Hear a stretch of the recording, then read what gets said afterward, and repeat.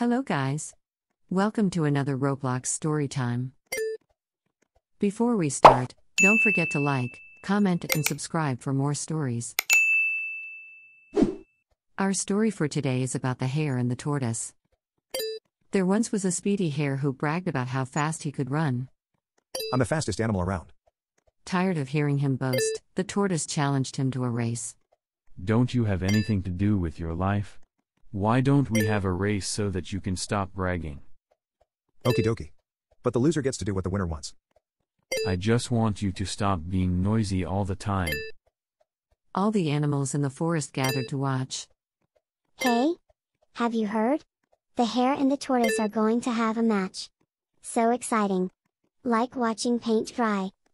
Come on and let's have a laugh and watch.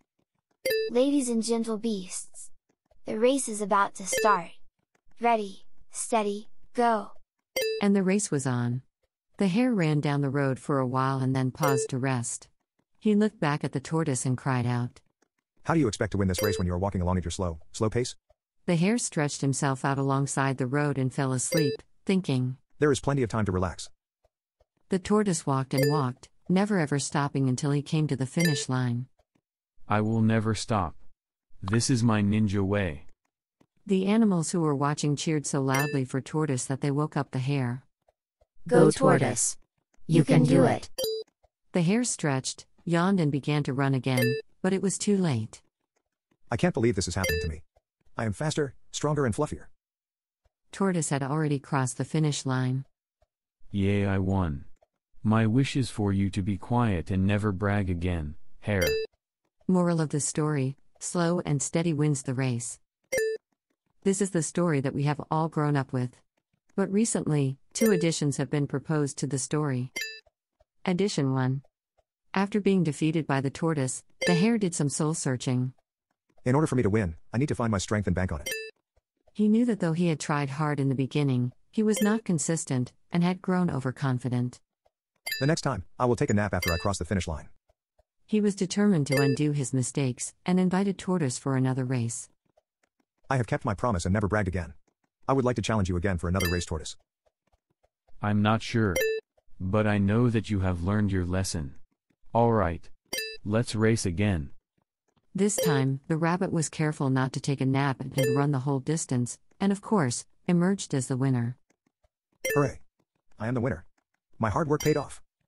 Moral Fast and consistent may be better than slow and steady. Addition 2. Well, after emerging the loser in the second race, the tortoise thought long and hard. How can I win the next race? The hare is clearly faster. I should think of a better way. He knew that in any traditional terrain, the hare would win if he was fast and consistent. Therefore, he thought of a non traditional terrain for the race. Aha! I got it. I can win this next race.